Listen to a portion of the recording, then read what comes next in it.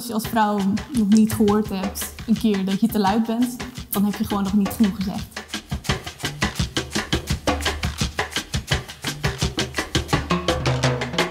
Ik kom uit een hele hechte familie, een hele fijne familie. Ik ben altijd opgegroeid met mijn moeder. Ja, dus wij zijn wel echt gewoon één unit samen.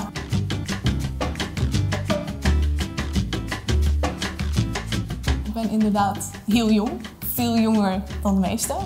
Maar ik kan het ook gewoon. En ik doe het ook gewoon. Wat je als directeur voornamelijk moet kunnen, is beslissingen maken.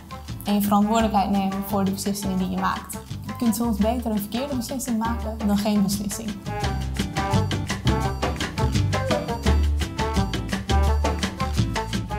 Mijn grootste uitdaging als jongste museumdirecteur van Nederland is in hoeverre ik mij conformeer aan het beeld van de museumdirecteur of de directeur in het algemeen. Het scheelt dat wij in de kunstwereld, we hebben echt enorm veel geweldige vrouwelijke directeuren. Ah, dus in die zin heb je al wat meer vrijheid daarin. Maar je merkt wel, als je op een bepaalde manier serieus genomen wordt, aan de tafel wilt blijven zitten.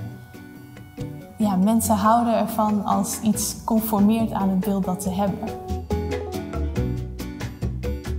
De Sims weer gedaan. Misschien dat dat echt bij een ultieme escape van alles is. Om soms een keer gewoon echt helemaal niks gewoon het Sims te spelen. Gewoon back to the old days. Doe vooral veel. En als je maar altijd bezig blijft met nieuwe dingen, dan kom je zoveel ervaringen tegen. Dan op den duur dan moet je jezelf ook wel tegenkomen. En dan kom je wel iets tegen waarbij je gewoon voelt, waarbij je gewoon je hele lijf voelt ja, dit is het. Hier pas ik, dit is mijn wereld, dit ga ik doen.